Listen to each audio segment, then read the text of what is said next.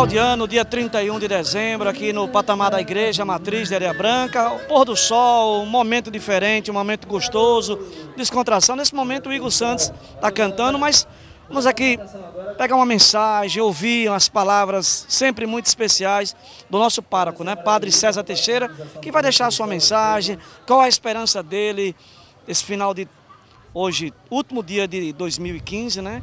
E o que esperar, Padre César, para 2016? Canal Areia Branca tem uma honra de sempre estar conversando com o senhor.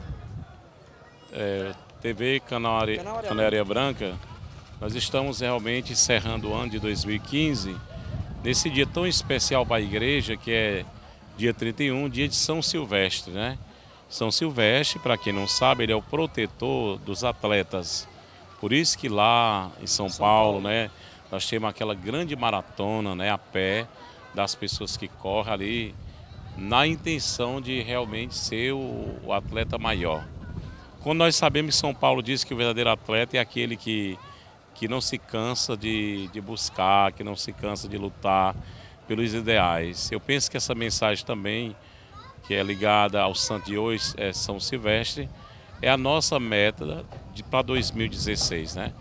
É, incansavelmente nós temos que sempre pensar no melhor para o ano que há de vir. Né? Sabemos que cada ano depende de Deus, muito mais de Deus do que nós, mas nós precisamos sonhar.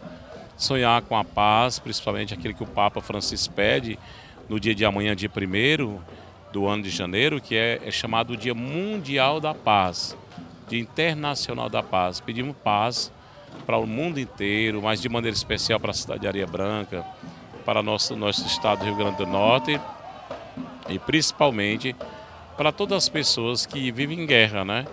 Se há guerra, porque falta Cristo. E se falta Cristo, o mundo é escuro, o mundo não tem sentido. É o desejo que nós temos, né, de desejar principalmente a vocês que estão nos assistindo, nos escutando ao mesmo tempo, que se realmente rezem Peça a Deus força, paz, alegria, prosperidade, para que o mundo seja mais justo e mais fraterno, para que não haja violência, para que não haja preconceito, racismo em 2016 e que as pessoas que foram chamadas, que foram eleitas, que foram ungidas, chamadas para governar alguma coisa, seja o padre na igreja, seja o governador, seja os, os, os gestores, faça valer aquilo que Deus lhe confiou né? porque não é apenas um voto ou um título que faz a pessoa ser feliz, mas é, a felicidade está em fazer bem às pessoas, né? Você poder desenvolver sua função em prol dos pobres, né? Eu não posso ser um padre que desenvolve minha função em função de mim mesmo, porque pouco me adianta me engrandecer. A gente engrandece ao coração de Deus e se engrandece ao coração de Deus, a gente tem que engrandecer o povo, porque Deus quer que a gente ame o povo. Se a gente se afasta do povo, então, de repente, a nosso, nosso mandato, a nossa missão, ela pouco vale, né? É isso que eu desejo, né? Que cada um assuma seu papel, sua missão e faça valer para que o mundo seja diferente. E que seja um ano totalmente diferente de 2015. Muitas coisas boas aconteceram, mas muita coisa a desejar. E nós vamos, temos que consertar em 2016 aquilo que a gente não fez, conseguiu fazer em 2016. Aproveito, Castro, para desejar assim a todos vocês um ano 16, 2016 repleto das bênçãos de Deus, para que haja mais unidade nas nossas famílias e para que de maneira especial o canal Areia Branca possa ser esse veículo, né? Que leva para as pessoas a alegria, contagie com a sua, sua mensagem cada dia, para que o mundo seja diferente. Que Deus abençoe a todos. Muito obrigado, Pastor César. A gente sabe que é difícil, a, a tarefa não é fácil. Tanto é que o senhor está aí bastante gripado, mas não pode parar.